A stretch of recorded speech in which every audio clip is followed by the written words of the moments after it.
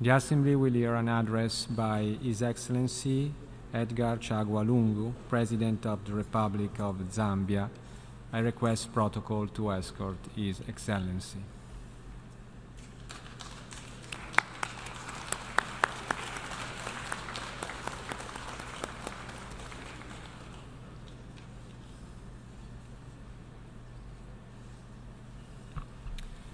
On behalf of the General Assembly, I have the honor to welcome to the United Nations His Excellency Edgar Chagwa Lungu, President of the Republic of Zambia, and to invite him to address the Assembly.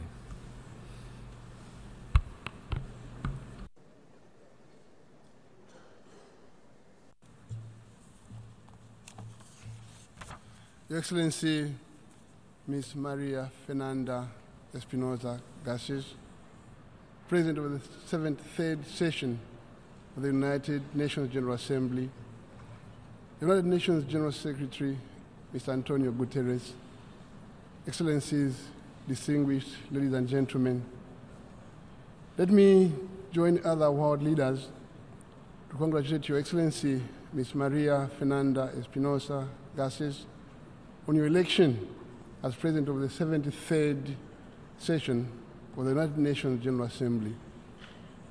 Zambia fully supports your endeavor to diligently discharge the responsibility of this assembly. Zambia is delighted to note that after over a decade, a woman has yet again taken up this important seat as the fourth female president of the General Assembly since the establishment of this world body. As the United Nations celebrates its 73rd anniversary next month, there is need for it to forcefully continue to promote international peace, cooperation, and the development of societies which are devoid of hunger, poverty, and disease. In doing so, we should endeavor to explore new ideas and best practices to meet expectations of our people.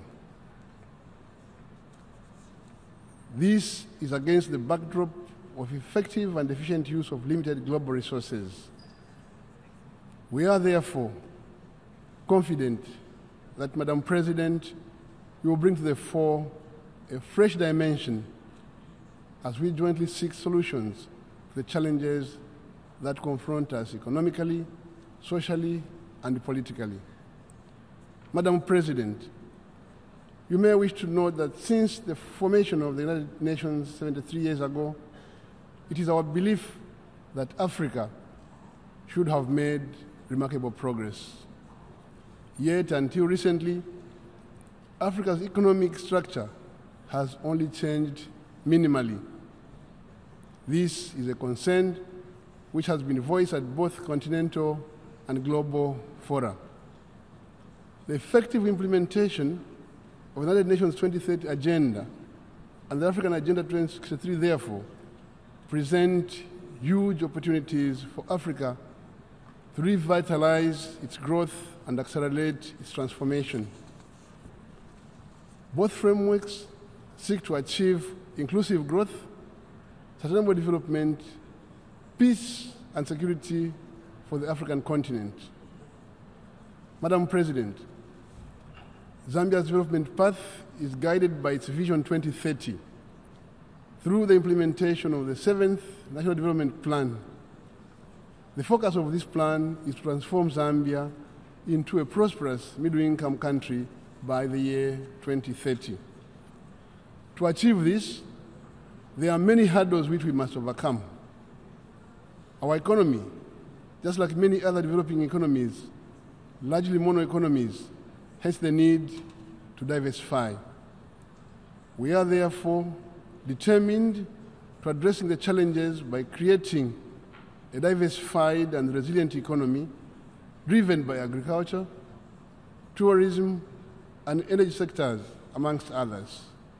This will be supported by robust infrastructure development program.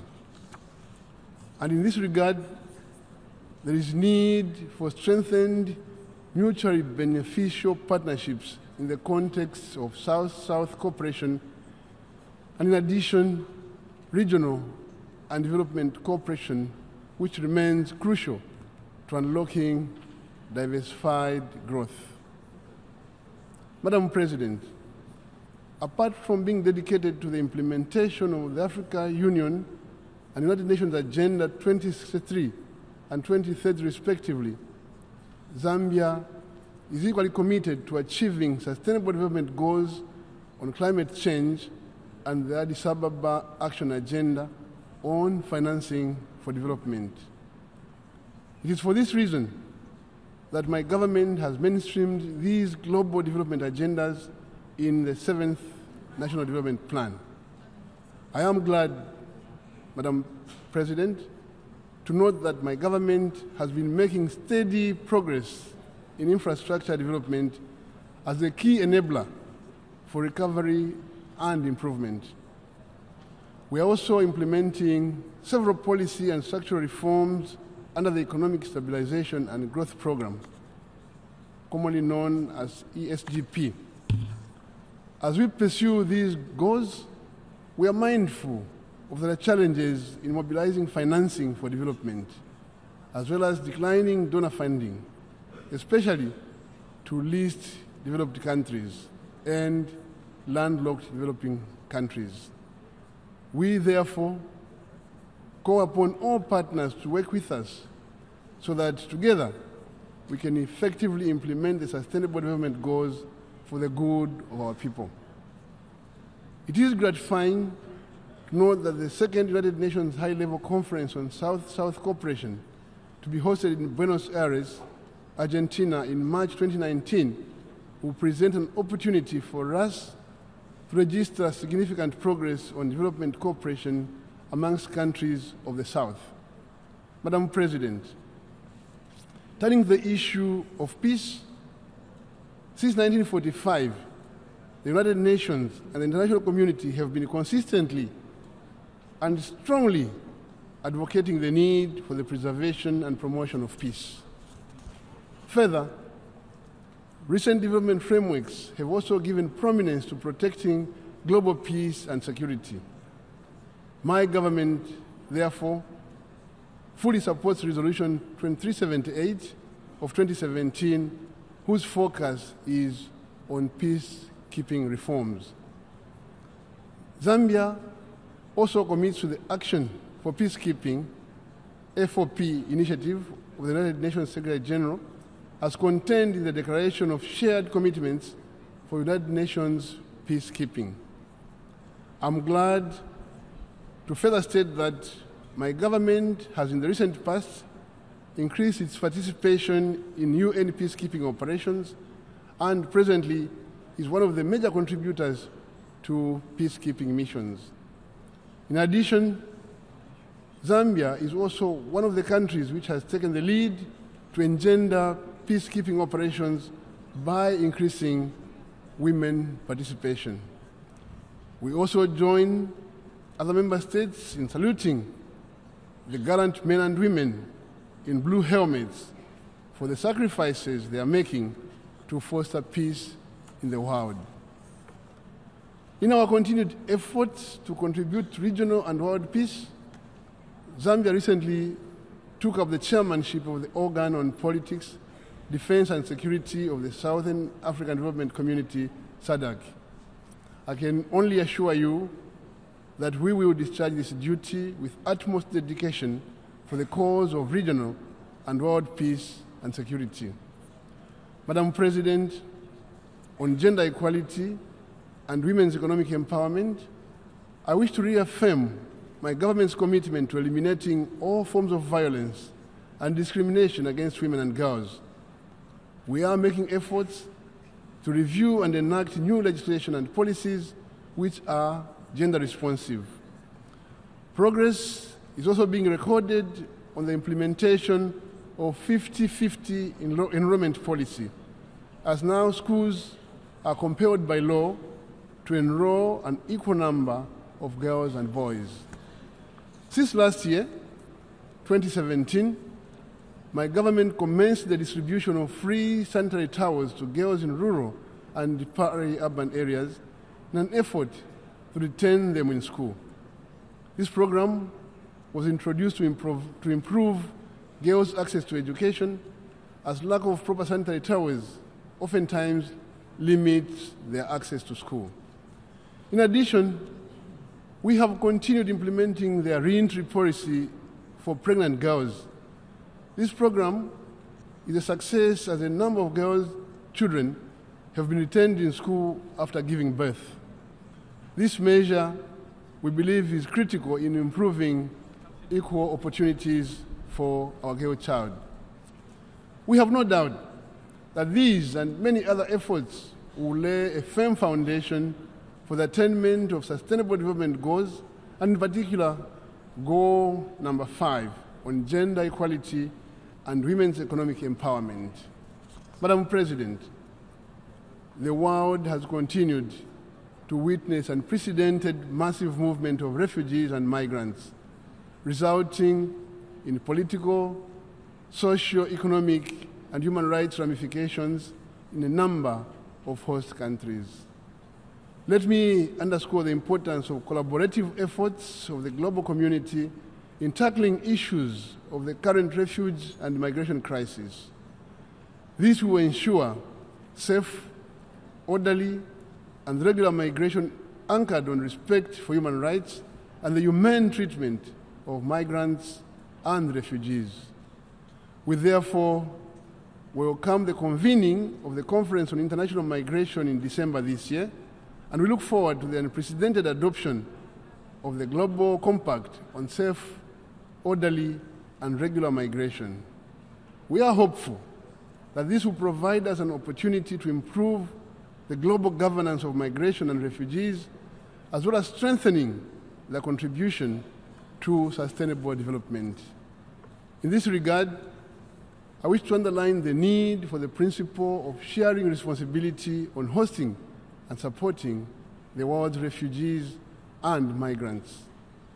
Going forward, I wish to reaffirm my government's commitment to international obligations under 1951 Convention and its 1967 Protocol relating to the status of refugees.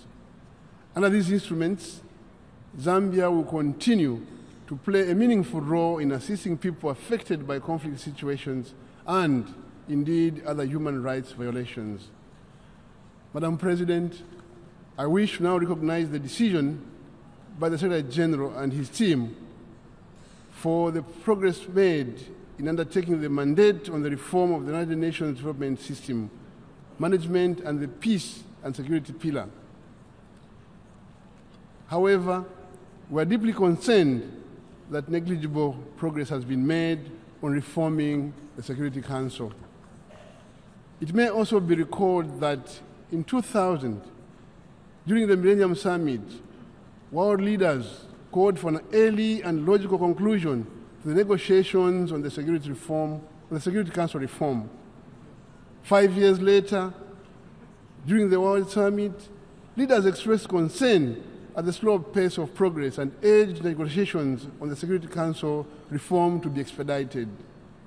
To date, we are still no closer to an agreement on such a fundamental issue which seeks to make the United Nations truly representative, democratic, and effective.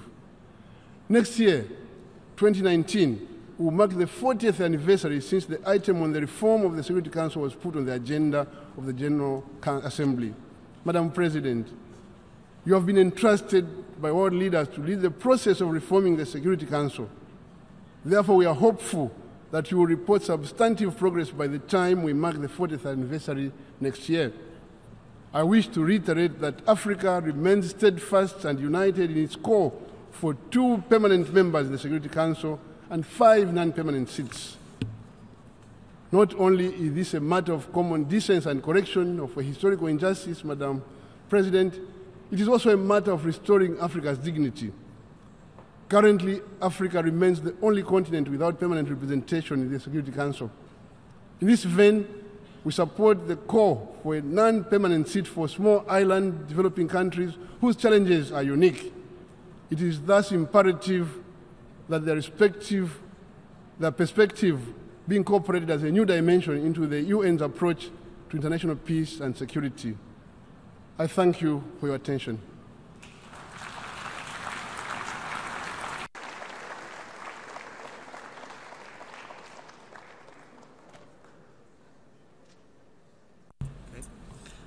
Behalf of the General Assembly, I wish to thank the President of the Republic of Zambia for the statement just made.